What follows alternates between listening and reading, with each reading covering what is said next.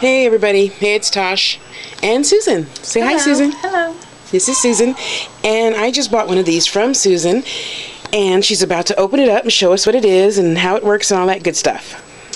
You put it in the microwave for two minutes Mm-hmm. and it gets nice and hot and you can put it around your shoulders or around your feet at the end of the bed to keep yourself warm. This is the size of it.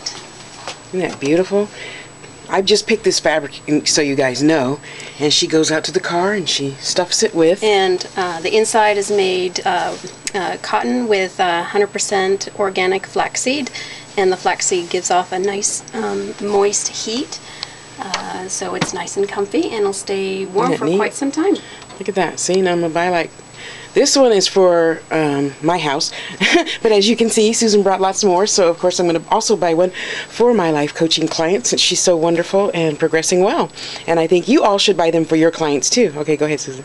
Thank you. And you can also put it in the freezer if you want something cold to put on a, a sore muscle or something. Um, you can also put it in a bag and put it in the freezer, and it's like an ice pack also.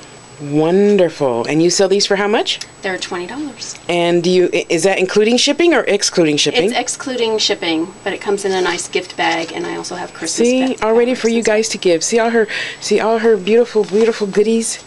They're wonderful. And when she's done building her website, you can pick a fabric and everything. See?